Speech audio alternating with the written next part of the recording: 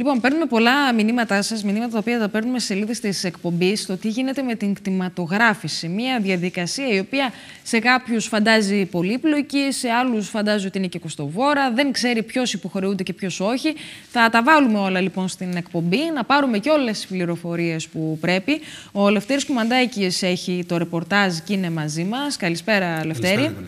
Και για να μας βοηθήσει αυτή τη συζήτηση και να μας δώσει και τα φώτα του, ο κύριος Κώστας Μπάκητες είναι μέλος διοικούση επιτροπής του ΤΕΤΑΚ και τοπογράφος. Καλησπέρα σας. Καλησπέρα σας. Σας ευχαριστούμε που είστε εδώ, γιατί καταλαβαίνετε ότι και εμείς προσπαθούμε να ξεδιαλύνουμε λίγο το τοπίο και πολύ περισσότερο ο κόσμος.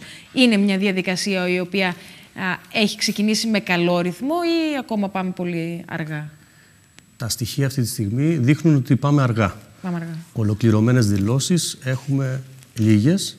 Καταρχήν να πούμε ότι είναι σε εξέλιξη αυτή τη στιγμή στο νομό Λασιθίου και στο νομό Ηρακλείου η κτηματογράφηση και τα ποσοστά δείχνουν περίπου 5% στο νομό Ηρακλείου και λίγο παραπάνω στο νομό Λασιθίου που ξεκίνησε και νωρίτερα. Mm -hmm. Αυτό βέβαια πολύ μικρό το ποσοστό. Είναι πολύ μικρό το ποσοστό.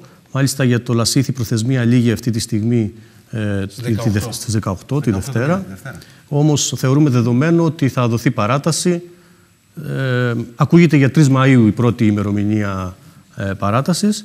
Ε, σαν τεχνικό μελητήριο θεωρούμε ότι δεν είναι αρκετό. Ο κόσμος καθυστερεί, όχι επειδή δεν ενδιαφέρεται.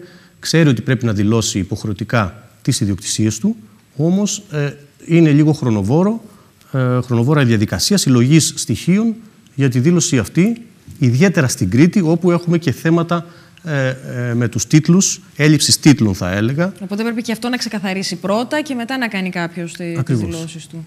Λοιπόν, ε, έχουμε επιχειρήσει να τα κάνουμε έτσι λίγο πιο ξεκάθαρα στον κόσμο, Λευτέρη, έτσι με τη βοήθεια στοιχείων, στα οποία θα μας βοηθήσει βέβαια σχολιάζοντας και ο κύριος Πάκητας για να μας δώσει περισσότερες διευκρινήσεις. Να ξεκινήσουμε λοιπόν από τα απαραίτητα δικαιολογητικά, όλα όσα χρειάζεται λοιπόν κάποιος για να προχωρήσει την κτηματογράφηση.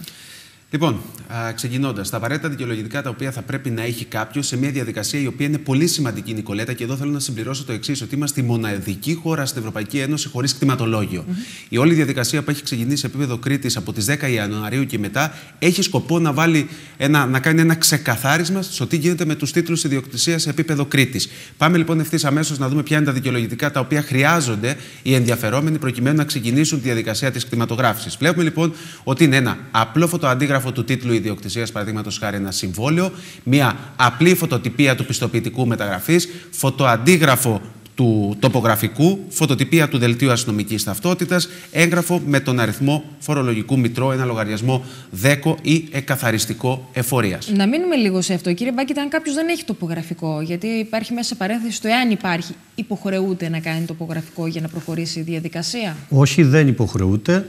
Δεν είναι υποχρεωτική η υποβολή τοπογραφικού διαγράμματος. Αν υπάρχει στο συμβόλαιο, ναι. τότε είναι υποχρεωτικό. Ε, ε, και επίσης διευκολύνει η ύπαρξη του τοπογραφικού διαγράμματος, διευκολύνει τη διαδικασία του ορθού εντοπισμού.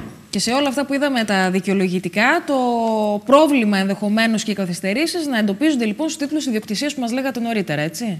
Ακριβώς. Υπάρχει ε, τεράστιο ποσοστό ακινήτων, ιδιαίτερα στις αγροτικές περιοχές, όπου δεν έχει ο κόσμος ε, συμβόλαια και έτσι θα δηλωθούν αναγκαστικά με την ε, αιτία κτήση στη χρησικτησία. Mm Όπου τα δικαιολογητικά βεβαίως να πούμε ότι διαφέρουν. Σε περίπτωση που δεν υπάρχει τίτλος, ε, έχουμε άλλες δύο κατηγορίες. Ε, η μία είναι ο τίτλος. Οι άλλες είναι η κληρονομιά χωρίς διαθήκη, κληρονομιά με διαθήκη και αιτία κτήση στη χρησικτησία. Άρα είναι και στα χαρακτηριστικά κάθε υπόθεσης χωριστά. Ε, Λευτέρη, να προχωρήσουμε να δούμε και τα υπόλοιπα. Βεβαίως. Θα πάμε να δούμε ποιο είναι τώρα το πάγιο τέλος, αυτό που θα πληρώσει δηλαδή ο ενδιαφερόμενος προκειμένου να προχωρήσει τις διαδικασίες της κτηματογράφησης. Όπως πολύ σωστά μπορούμε να, βρούμε, να δούμε και στην κάρτα μας, ο κάθε ενδιαφερόμενος πληρώνει 25 ευρώ ανα, 35 ευρώ ανά ακίνητο και 20 ευρώ για κάποιο βοηθητικό χώρο, αποθήκε, θέσεις ε, στάθμευσης κτλ. Ωστόσο, όπως πολύ σωστά θα μας πει και ο κύριος Μπάκητας, θέλουμε να μείνουμε λίγο στο κομμάτι των 35 ευρώ. Στην πρώτη περίπτωση, που αφορά δηλαδή την αστική ιδιοκτησία ή το κομμάτι των αγροτικών ακινήτων. Εκεί υπάρχουν κάποια, κάποιες λεπτομέρειες, κάποια χωρία στην όλη διαδικασία, τα οποία κάνουν τη διαφορά. Ας πούμε, τι γίνεται με κάποιον ο οποίος έχει στον ίδιο Δήμο α, α, κάποιους κλήρους, τους οποίους πρέπει να τους δηλώσει. Πληρώνει παραπάνω χρήματα, πληρώνει μόνο τα 35 ευρώ. Τι γίνεται σε αυτή την περίπτωση; Υπάρχει η ευνοϊκή διάταξη όταν κάποιος έχει αγροτικά ακίνητα παραπάνω από δύο, στον ίδιο όμως προσοχή, στον ίδιο προκαποδιστριακό τά. Όχι τους το σημερινούς Δήμους, ναι. όπως λέγαμε παλιά τις κτηματικές περιφέρειες. Συνήθως είναι ε, αναοικισμό, αναχωριό. Όταν λοιπόν κάποιος έχει παραπάνω από δύο αγροτεμάχια, 5, 6, 10, θα πληρώσει μόνο για τα δύο πρώτα. Δηλαδή, Άρα 2 επί 35, ευρώ, δηλαδή, 70 ευρώ, 70 για, τα, για όσα αγροτεμάχια για έχει, στον ίδιο επαναλαμβάνω προκαποδιστριακό τά. Αυτόματα βγαίνει το τέλος της θεματογράφησης ανάλογα με τις δηλώσεις. Άρα, αν τα έχει διάσπαρτα, εννοείται ότι θα πληρώνει 35 ευρώ για κάθε ακίνητο. Αν τα έχει σε πρώην καποδιστριακό Δήμο, ε, Όλα μαζί θα για τα δύο πρώτα. Για τα δύο πρώτα. Ακριβώς και να προσθέσουμε εδώ ότι το τέλος είναι αναδικαίωμα.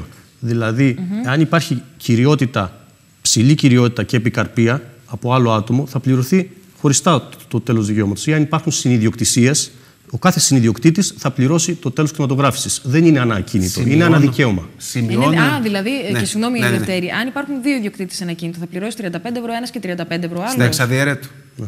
Εκεί υπάρχει ένα, μια μικρή διαφορά ότι στα εξαδιαιρέτου όσοι ιδιοκτήτες φαίνονται θα πληρώσουν επί 35 ο καθένας. Μάλιστα. Αυτό είναι μια σημαντική, παράμετρος, ναι. βέβαια. Να δούμε λίγο και τις περιοχές του νομού Ηρακλείου που είναι απαραίτητη η κτηματογράφηση. Γιατί, ξαναμά είπε ο κ. Μπάκητα, είναι πολύ μικρό το ποσοστό ε, στο οποίο έχει προχωρήσει. Να δούμε στις περιοχές του νομού Ηρακλείου, λοιπόν, ποιοι δήμοι που χρεούνται. Λοιπόν, Δήμοι Αρχανών Αστερουσίων, Δήμος Βιάνου, Δήμος Γόρτινας και Δήμος Μινό Απεντιάδο και Δήμος Φεστού. Σε αυτούς τους Δήμους είναι απαραίτητη η κτηματογράφηση. Οι περιοχές και οι Δήμοι, στους οποίους δεν χρειάζεται οι ιδιοκτήτες εκείνης της περιουσίας να κάνουν κάποιο είδους διαδικασία κτηματογράφησης, είναι οι επόμενοι τρεις, όπως ο Δήμος Ηρακλείου, όπως θα δούμε και στην ε, σχετική κάρτα, ο Δήμος Μαλεβιζίου, αλλά και ο Δήμος Χερσονήσου.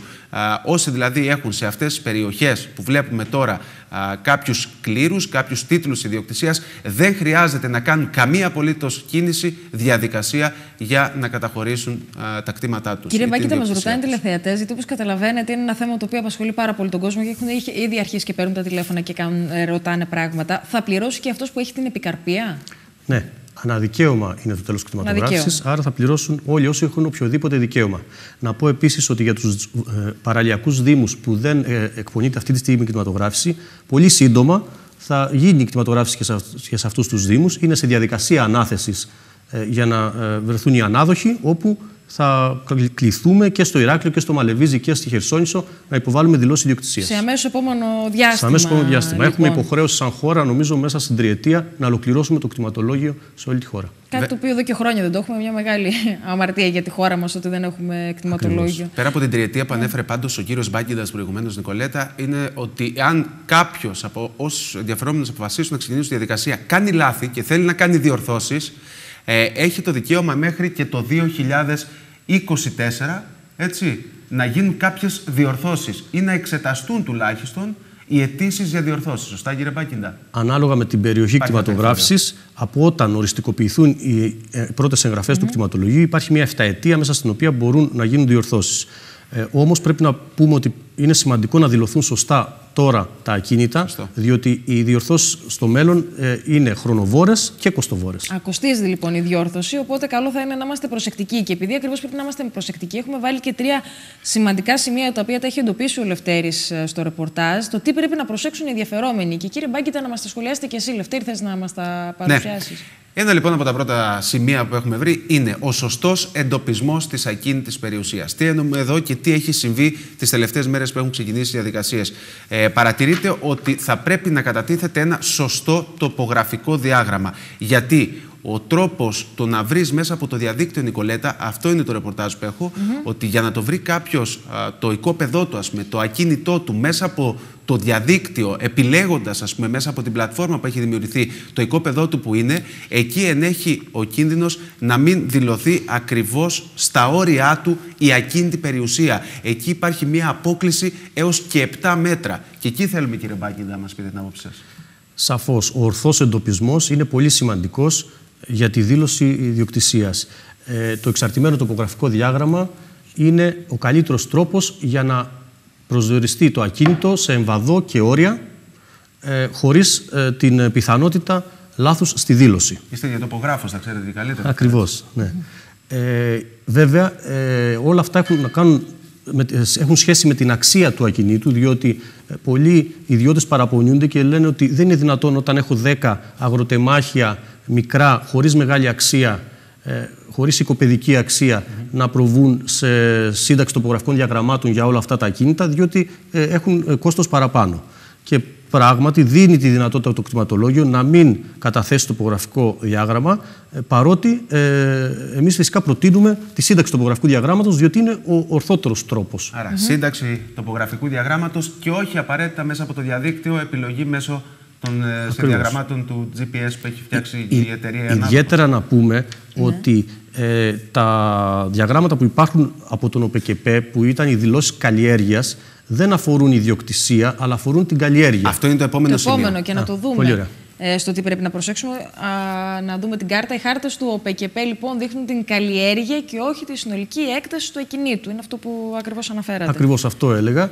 Ε, υπάρχουν, υπάρχει η πιθανότητα ένα τμήμα του ακινήτου που δεν καλλιεργείται, για παράδειγμα, ένας δέτης ή ένας ε, ε δρόμος ιδιωτικός μέσα στο ακίνητο, να μην έχουν συμπεριληφθεί σε αυτή την έκταση και επίσης έχουν παρατηρηθεί σωρία λαθών στα όρια ε, των ε, διαγραμμάτων αυτών, τα οποία ε, αν δηλωθούν τώρα λάθος, αργότερα θα είναι δύσκολη η διόρθωση. Να δούμε και το επόμενο για να θέσουμε ένα ακόμα ερώτημα από τηλεθεατή. Η σωστή συλλογή λοιπόν εγγράφων και απόλυτη εναρμόνιση με ε9. Θέλετε να σχολιάσετε κάτι πάνω σε αυτό κύριε Μπάγκητα. Εδώ να πω, συμφωνώ φυσικά ότι ε, ε, πρέπει να συλλεχθούν όλα τα έγγραφα που έχει ο πολίτης για το ακίνητό του ε, συμβόλαια είτε έγγραφα χρησικτησίας σε περίπτωση που δεν έχει συμβόλαιο. Τα οποία μπορεί να είναι ένα παλιό ε9 του 1997, ας πούμε, που κλείνει 20 ετία και ήταν χειρόγραφο και είχε κατατεθεί στην εφορία. Μπορεί να είναι ε, ένα έγγραφο επιδότησης δήλωσης καλλιέργειας ε, ή πιστοποιητικό ιδιοκτησίας από τον οικείο Δήμο.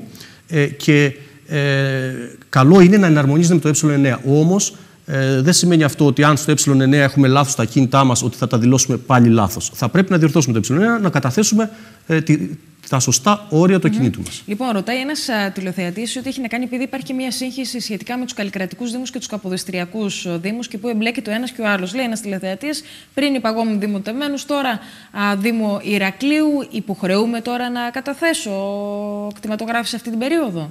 Όχι στο, ο Δήμος Ηρακλείου δεν συμπεριλαμβάνεται αυτή τη στιγμή στην κτηματογράφηση. Άρα στις υποχρεώσεις είναι οι Δήμοι έτσι όπως τους δείξαμε, με την καλλικρατική τους μορφή. Όπως είναι οι Δήμοι τώρα. Ε... Το τέλος κτηματογράφηση μόνο διαφέρει είναι με τους προκαποδιστριακούς ΟΤΑ. Έτσι. Υπάρχει μόνο διαφορά λοιπόν στο τέλος κτηματογράφηση. Ε, Λευτέρη, άλλα στοιχεία τα οποία μας δίνουν σημαντικές πληροφορίες. Το επόμενο στοιχείο που έχουμε είναι όσον αφορά τις προθεσμίες. Οι προθεσμίες που γνωρίζουμε μέχρι στιγμής ότι θα είναι είναι για τον νομό Ηρακλείου μέχρι τις 10 Απριλίου και στο νομό Λασιθίου δυστυχώς η κλεψίδρα τελειώνει εδώ πέρα για τους ε, Λασιθιώτες, αφού πρέπει μέχρι τις 18 Μαρτίου, δηλαδή μέχρι τη Δευτέρα, να έχουν τελειώσει τις ε, διαδικασίες κτηματογράφησή τους. Ωστόσο, όπως είπε και ο κύριος Μπάκιντα στην αρχή των όσων είπε, ε, θα δοθεί κατά πάσα πιθανότητα μια παράταση και προς αυτή την κατεύθυνση νομίζω θα πιέσει και το ΤΕΤΑΚ έτσι.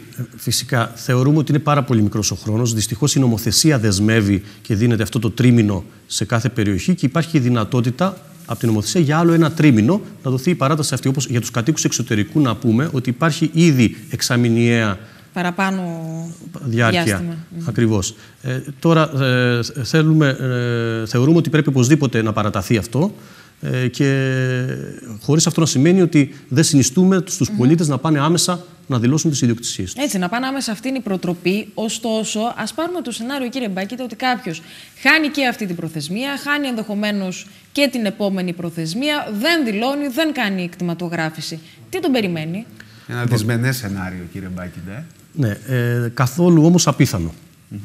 Ε, καταρχήν να πούμε ότι είναι υποχρεωτική η δήλωση από τον νόμο. Ε, δεύτερον, απαγορεύεται κάθε δικαιοπραξία εάν δεν είναι δηλωμένο το ακίνητό σου στο κτηματολόγιο.